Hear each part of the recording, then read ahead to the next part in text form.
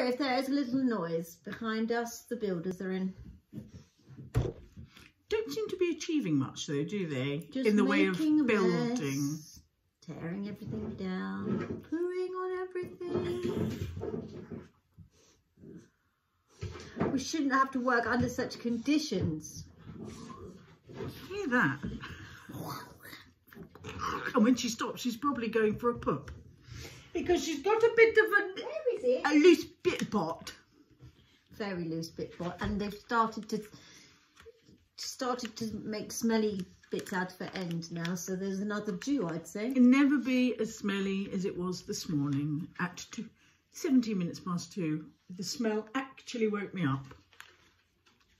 Something the size of an elephant might want to, uh, but I tell you what, watching Stuart clean it up in his dressing gown in the worst mood was hilarious. you like puppy? Right, we're going to do high team. Here we go.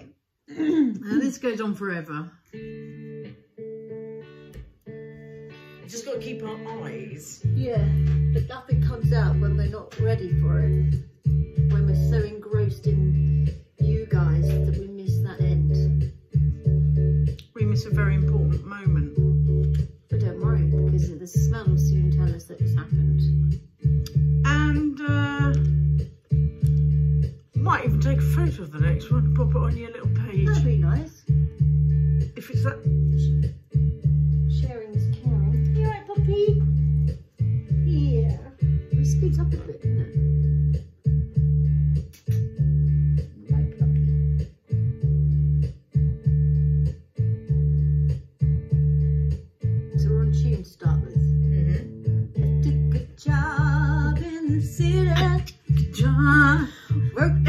Every night